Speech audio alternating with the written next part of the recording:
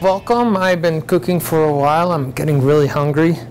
My favorite pie are the cow pies that we have in our stores. Today it's one that's an awesome pie. It's the pineapple upside down pie. We're gonna be showing you guys how to decorate your plate with dessert sauces and it's called plate painting and it's gonna be wonderful. What I do is I kind of grab here some hot fudge and I heated it up a little bit in the microwave. This is just a hot fudge that you just buy in your jars and that you put over ice cream and just make a good puddle of that on the plate.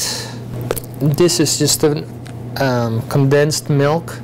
Go ahead and just make a good puddle of this stuff too.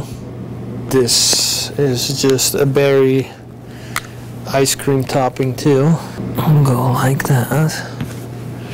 Now I just usually use the little skewers and what you can do is you can swirl these together just like that.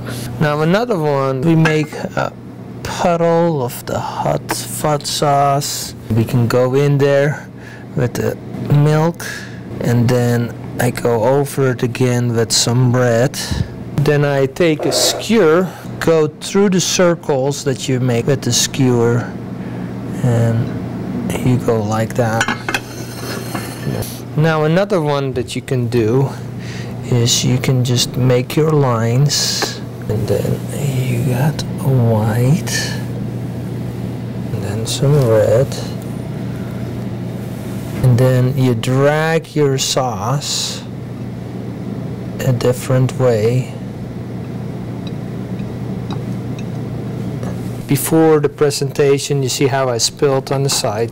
Just take a clean towel and make sure you wipe that clean so you will have a beautiful presentation. Sometimes you know you have a big bundt cake or just like a bigger dessert you have a bigger tray.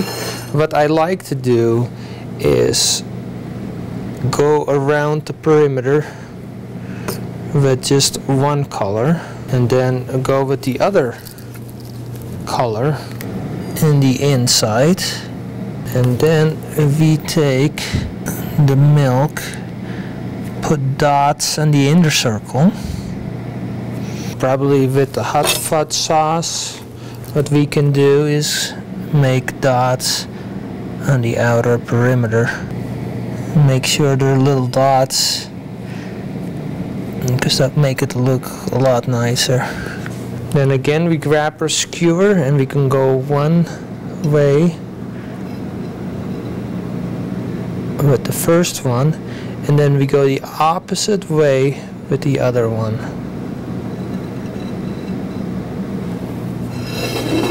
And there you go. It is time for me to cut in this pie. It's an awesome pie cut into it and have an awesome presentation. The way we can finish this up afterwards is an easy way. We just grab a candy bar and what I do is grab just a potato peeler and just make curls of chocolate that you kind of get on there and that's like a really easy way just to make this extra special.